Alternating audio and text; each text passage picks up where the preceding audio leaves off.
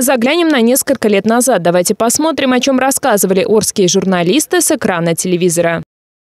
Электронный проездной – это бесконтактная пластиковая карта с микропроцессорным чипом. Она позволяет учитывать каждую поездку с привязкой ко времени, маршруту, конкретному транспортному средству, автобусу или трамваю. Транспортная карта устроена как электронный кошелек. На нее вносится определенная сумма, с которой при каждой поездке списывается ее стоимость. Купить и пополнить транспортную карту арчане могут в киосках, обозначенных желтыми наклейками с надписью «Транспортная карта», расположенных практически на каждой остановке города. Количество пунктов продаж и пополнения транспортных карт для удобства горожан будет расти. На данный момент их 10. Решением Орского городского совета депутатов от 14 ноября об утверждении тарифов за проезд на муниципальном пассажирском транспорте в 2008 году были приняты следующие изменения. Установить систему скидок на стоимость проезда на территории города Орска по единой карте горожан гражданина. Отныне при пополнении карты на сумму 200 рублей гражданин может проехать со скидкой 5%, на сумму 400 рублей – 10%, на сумму 600 рублей – 15%. Для оплаты за проезд пассажир передает транспортную карту кондуктору. При этом пассажир может узнать остаток денежных средств на карте у кондуктора или в местах продаж и пополнения транспортных карт. В середине декабря на пассажирском транспорте в целях обеспечения социальной защищенности студентов и учащихся будет введена карта школьника и карта студента.